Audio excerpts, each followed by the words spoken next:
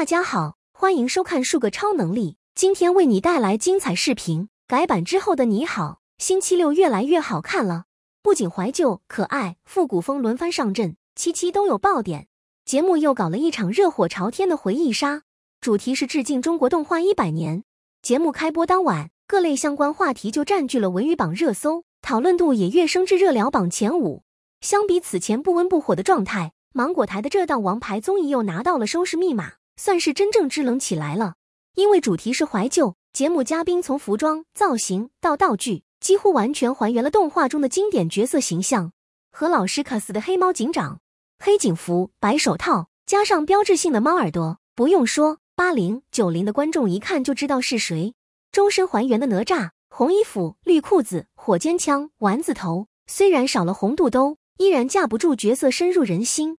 谭健次版本的美猴王。红披风、绿领结、黄外套、金箍棒，跟孙悟空之间就差一句“俺老孙来也”。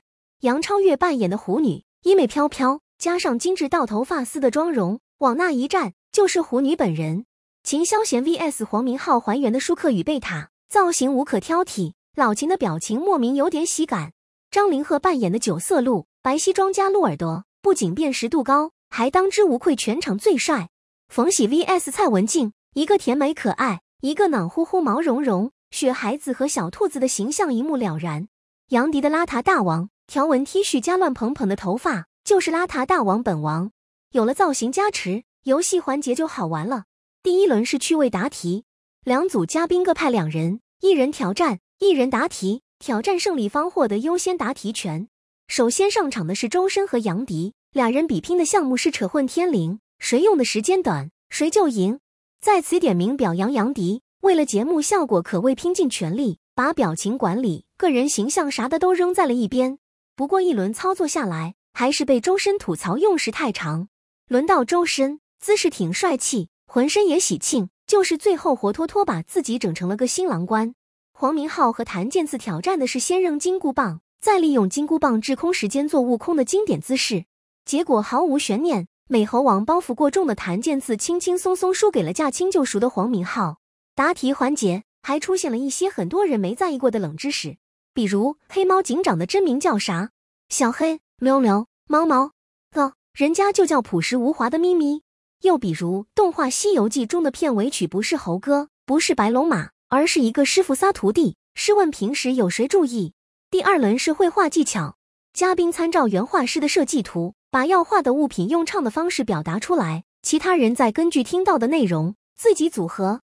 这个游戏看似简单，实际上对形象思维、语言组织、听力、动手能力以及嘉宾之间的默契度都是考验。比如杨迪和周深，杨迪一本正经唱了半天，杨超越、谭健次、黄明昊仨分别画的是香蕉、妖怪、手机，只有周深精准的 get 到了杨迪传递的内容是玉米。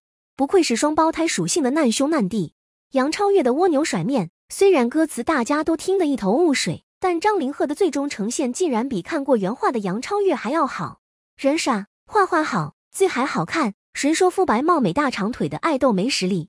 灵魂画手周深弯弯绕绕唱了半天，结果出来要么蝴蝶，要么兔子，要么螃蟹，就是没人听出他想表达的内容是青蛙。一个看似平平无奇的小游戏。却让嘉宾现场感受了一把手脑结合的快乐和挑战。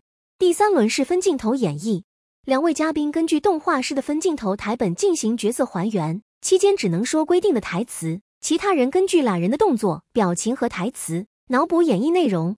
又是一个考验脑洞的游戏。一直负责美的杨超越居然在这轮来了个一鸣惊人，先是简陋补充了小兔子不敢去四川的故事，接着又乘胜追击。第一时间猜出孙悟空和九色鹿的动机，看楼盘，联合老师都忍不住连夸他是个天才。另一个表现出色的是同样低调的蔡文静，他不仅从秦霄贤和黄明昊模棱两可的比划中迅速猜出了俩人是在说相声，连包袱掉地上这种细节他都想到了。值得一提的是，为了避免被看出是在表演相声，秦霄贤还提前故意设计了动作，把上台的鞠躬改成了抱手臂。这么高难度的附加题都能得满分。也难怪小姐姐要激动的语无伦次，把手中牌子都扔掉了。除了脑洞可以，蔡文静平时肯定是个相声迷。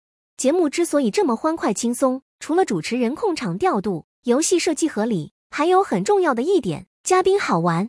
全能小天才周深获得了满堂彩，不唱歌的时候是放飞自我的综艺咖。这次扮演的哪吒是所有嘉宾中最出色的一位，他对哪吒的执念很深，一言不合就要宣告一次我是陈塘关李靖的儿子哪吒。谁不小心叫到他本名，还要一本正经纠正。被队友开玩笑问哪吒怎么没穿肚兜，他反应神速说哪吒到冬天也会自己加衣服的。这条回复还上了热搜。唱歌够不着话筒。自嘲专业歌手都是用额头发音，吐槽都卡死了。节目为啥还不能把它扮成高一点的？一秒切换到舞台，立马是空灵婉转、温柔细腻的灵魂歌手周深，导致他现在在网友心中都有两种形象：歌手周深 vs 综艺咖周深。有点脑子的杨超越，玩游戏的时候绝不划水，该唱唱，该画画，该猜猜。虽然不一定每次都对，但脑洞足够清奇，经常有出人意料的奇思妙想。其次，发现他综艺感也挺强。会画游戏那一段，何老师问杨超越多久没画画了，他秒答天天都画。何老师信以为真，问他都画些啥，他指了指自己，画眼影啊，口红啊，天天都画。看完节目才发现，杨超越除了颜值，其实双商一直在线。心系妖怪的谭健次，自打扮上孙悟空，脑子、眼睛、耳朵里就全是妖怪，即便接不住金箍棒。还原不了悟空经典姿势，也毫不影响美猴王对妖怪的执念和嫌弃。迷之自信的黄明昊，绘画小技巧那一轮，他把玉米画成了带毛的翻盖手机，还一直自信满满的大吼赢了，肯定赢了。被人提醒后才恍然大悟啊，我忘了手机没毛这件事了。要说这位小哥翻盖手机也就罢了，试问哪个手机头上还长毛？这就是年轻娃娃们玩游戏的快乐。帅气呆萌的张凌赫。张凌赫的强项是形象思维丰富，画画那一段别人都听不懂的内容，他不但能 get 到，还能活灵活现还原。短板是逻辑思维不足。分镜头头演绎部分，全体嘉宾都看得兴高采烈，猜得热火朝天，只有他一脸呆萌，跟着丑了了半天都没吱声，急得何老师不停 Q 他。张凌赫仿佛来过，但努力融入的他依然被演员们的表现搞得云里雾里。这类分析、判断加演绎的游戏。对逻辑稍微欠缺的娃来说，确实是短板，也是考验。还有不得不顺带一提的细致周到的何老师，除了负责节奏，何老师全程不是在 Q 有点神游的谭健次，就是表扬低调内敛的张凌赫，再不就是因某个不起眼的细节表扬某个嘉宾，真正做到了一碗水端平，让每个嘉宾都有表现露脸的机会。